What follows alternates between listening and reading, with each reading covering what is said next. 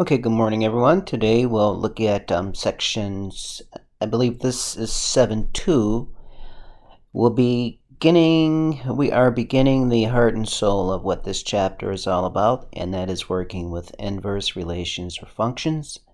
So let's take a look at what an inverse relation or function is.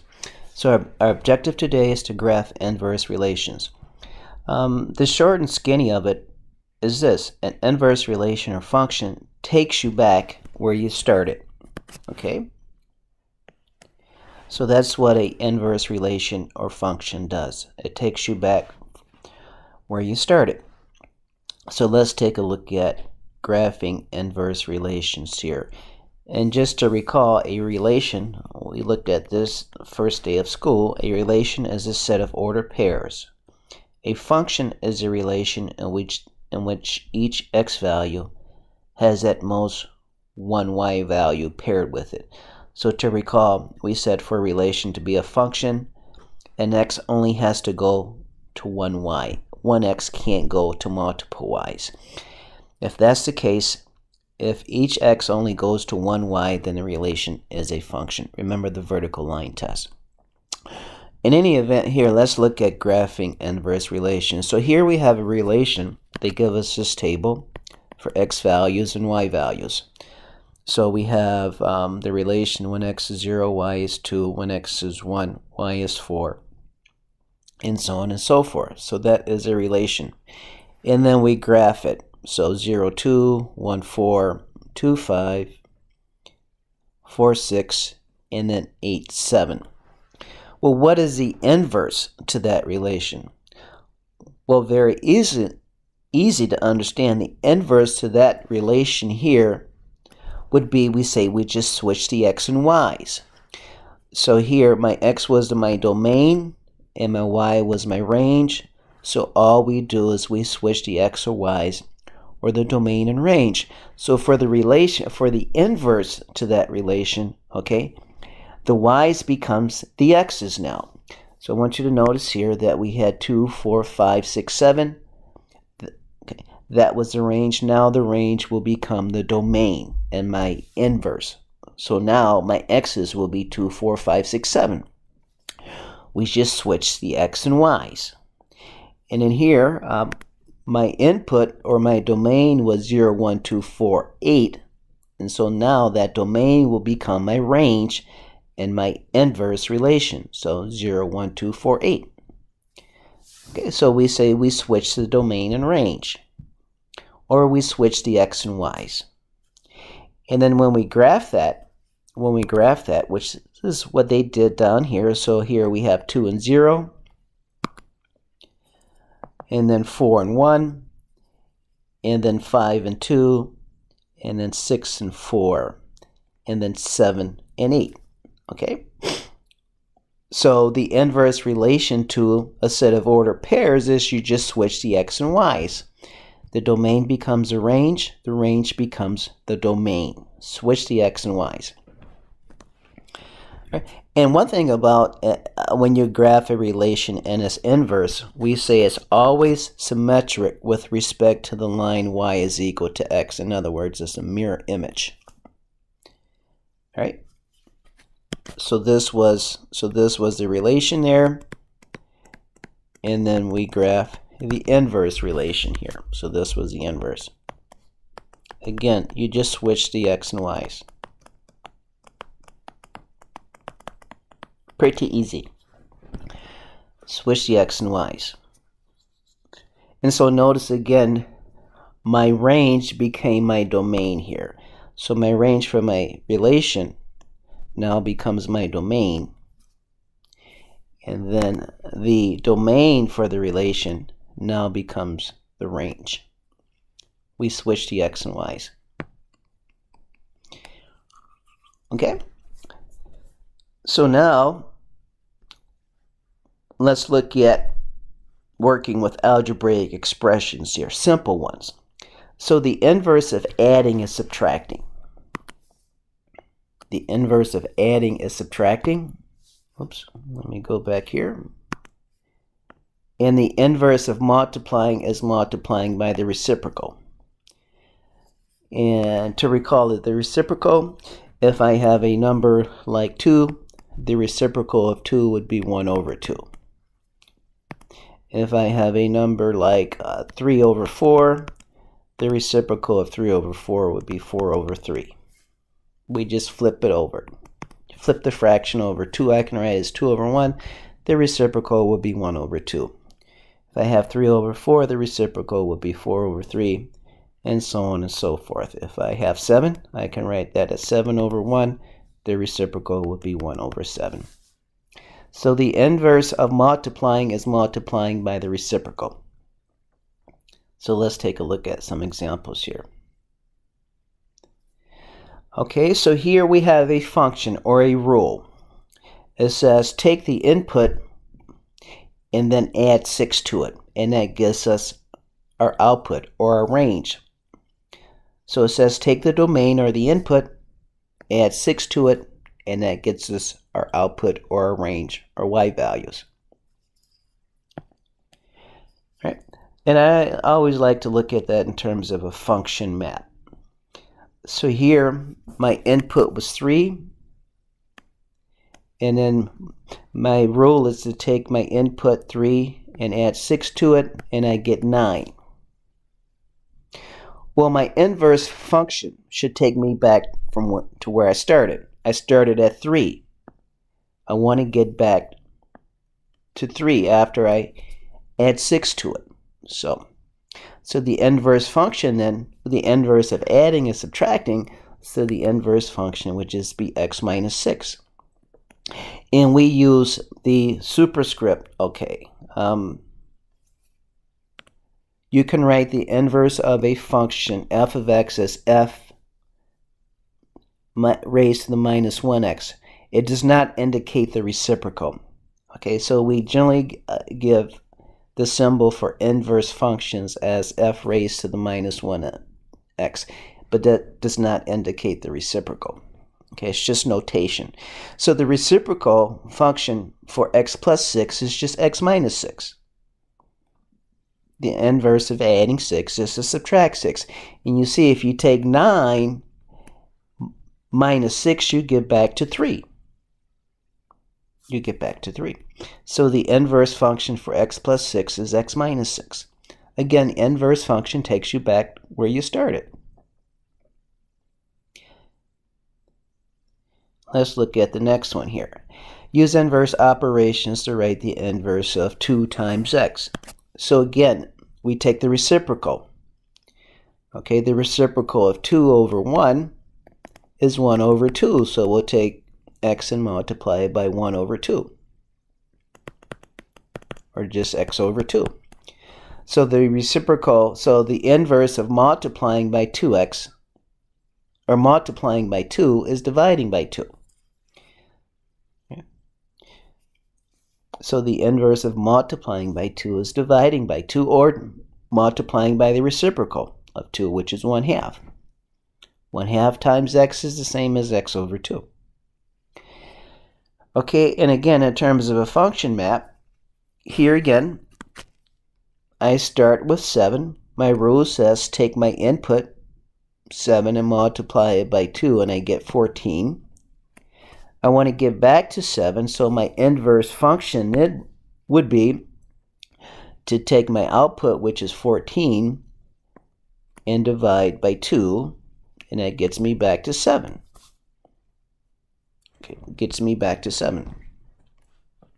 So the inverse function for 2 times x is x divided by 2.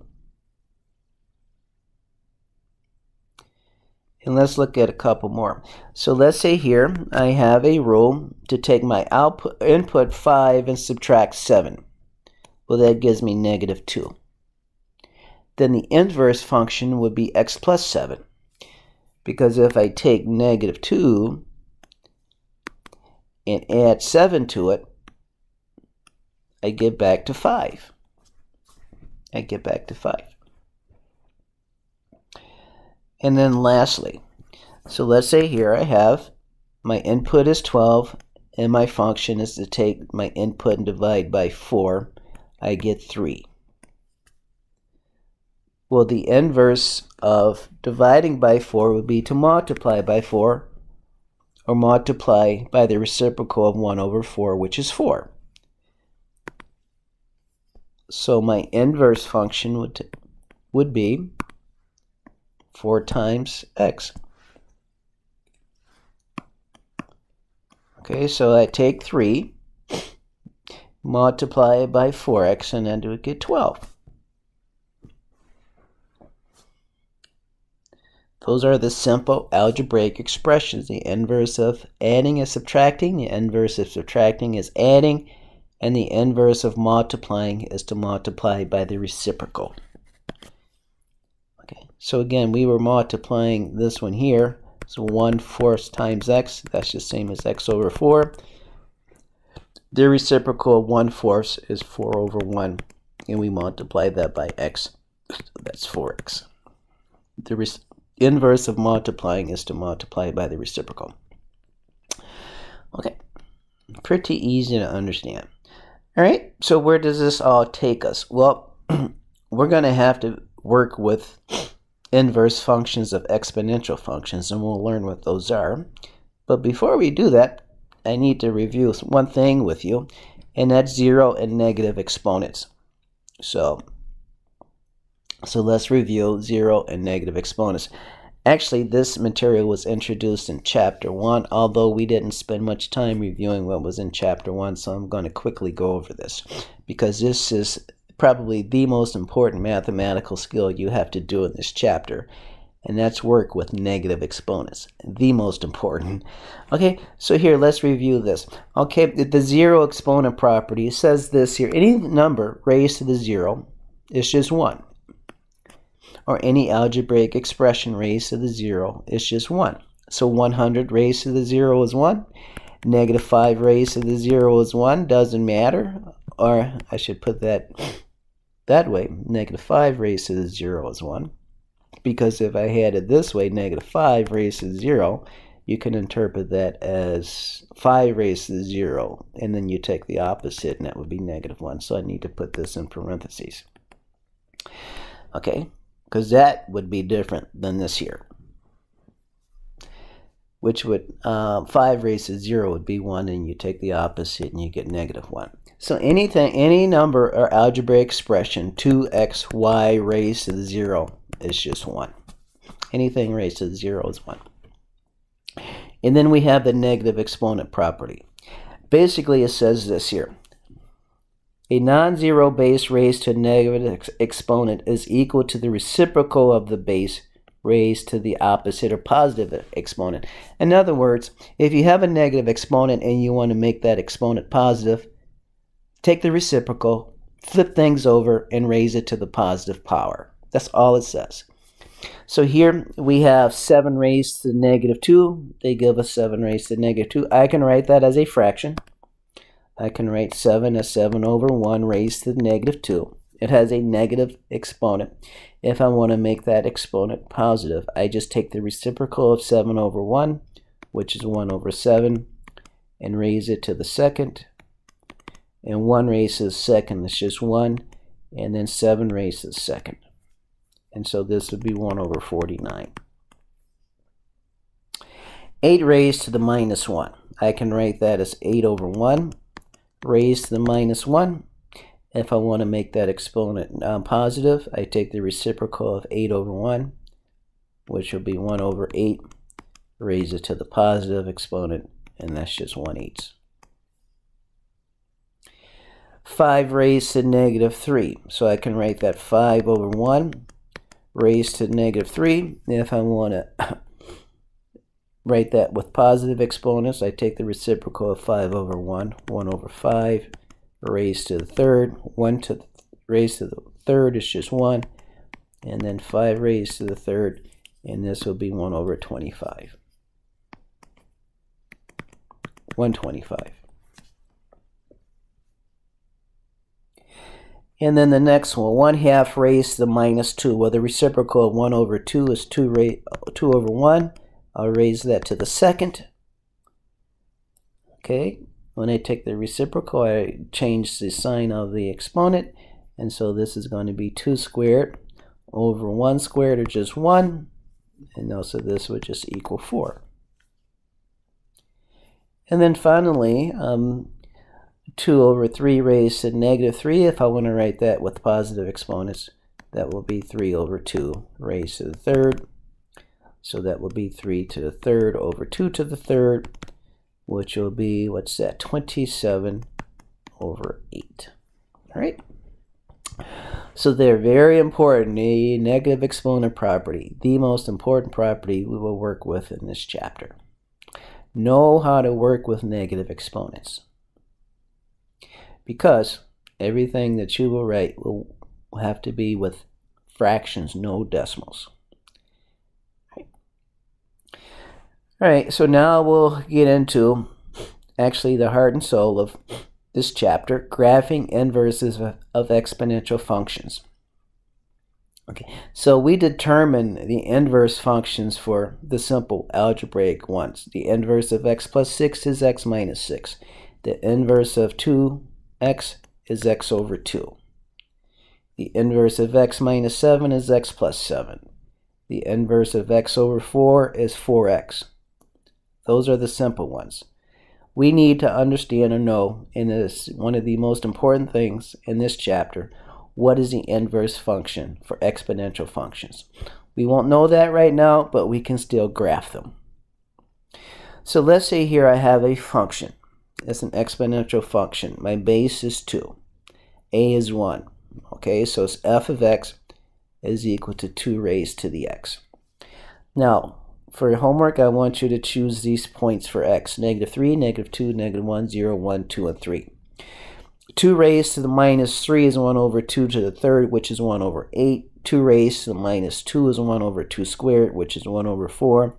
2 raised to the minus 1 is 1 half. 2 to the 0 is 1.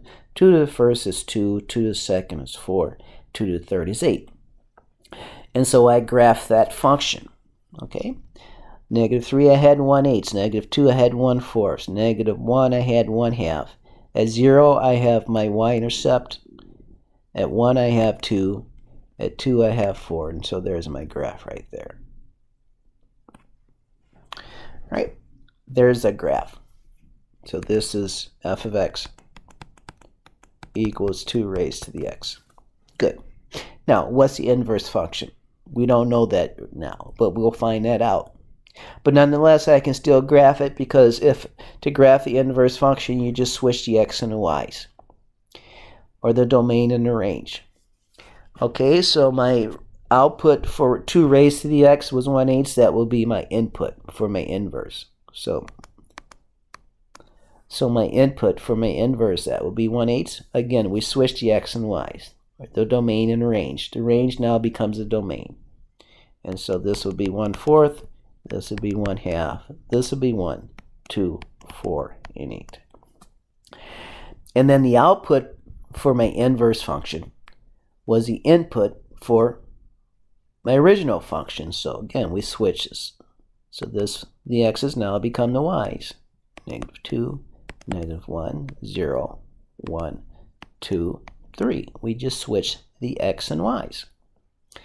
Okay, so again, my input here became my output here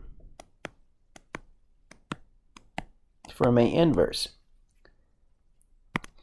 My output became my input for the inverse. And now I can graph it. Okay, so at 1 8 I'm at negative 3. So I know these get to be kind of difficult to graph. So 1 8 I'm about at negative 3. And then at 1 4 I'm about negative 2. And then 1 half I'm at negative 1. But there at 1 I'm at 0. And then at 2 I'm at 1.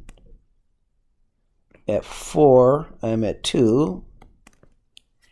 And at 8, I'm at 3. So 5, 6, 7, 8. I'm at 3. And there would be, so there would be my inverse function graphed. Uh, we don't know what that function is. But I want you to notice too, though, it is symmetric because when you graph a function in its inverse, it's always symmetric with respect to the line y is equal to x. So here, it's always symmetric with respect to that line. It's like we flip the graph over the line y is equal to x. And then I'll do one more. All right, so let's look at this one. So here my function was f of x is equal to 1 third raised to the x. So again, I'll use the same x values, negative 3, negative 2, negative 1. So 1 third raised to the minus 3, take the reciprocal, raise things to the even um, exponent. That's going to be 3 over, over 1 raised to the third. That will give me 27. 1 third raised to the minus 2 would be 3 over 1 squared. That would be 9. 1 third raised to the minus 1 will be 3 over 1 or 3. 1 third to the 0 is 1. 1 third to the 1 is 1 third. 1 third squared is 1 ninth. And 1 third cubed is 1 27th. And then when I graph that, so when I graph that, it will look like this here. Okay, so again, there's my function, f of x equals 1 third raised to the x this de decaying function. My base is less than 1. And now to graph the inverse, all we do is we switch the domain and range. Okay, so my so my input here will become my output. My domain becomes my range. So this will be minus 3, minus 2, minus 1, 0, 1, 2, and 3 and then my output from my original function becomes my input to the inverse. So this will be, what's that, 27. So this will be 27, 9, 3, 1, 1 third, 1 ninth, and 1 over 27. Right? All we do is we switch the domain and range. We switch the x and y's pretty easy to do. And then now we can graph that. So at 27, at x is 27, I'm at negative 3. I can't graph that, that's for sure. At 9, I'm at negative. Okay, here, let me do this. I'm going to start from the bottom. At 1 over 27, I'm at 3, so that's going to be very close to 0. So so 1 over 27, I'm at 3. 1, 2, 3. About right there. And then 1 ninth, I'm at 2. At 1 ninth, I'm at 2. So 1 ninth, I'm at about 2. Again, these things get to be very difficult. One third I'm at 1. So one third I'm about at 1. And then at 1, I'm at 0. And at 3, I'm at negative 1. And then at 9, I'm at negative 2. So 3, 4, 5, 6, 7, 8, 9. Negative 2. And then I'm off the chart there. So when I graph this, it's going to look like this here. Um, I won't cross that line. These get to be very difficult to graph. All right, and so that's the way that one will kind of look like there. But nonetheless, it's still going to be symmetric to, with respect to the line y is equal to x. Yeah. All right, so that's what you'll have for homework. You'll have to graph. You'll have some problems to do graphing of the function and its inverse and then finding um, writing um, negative exponents with positive exponents. That's going to be very important. All right.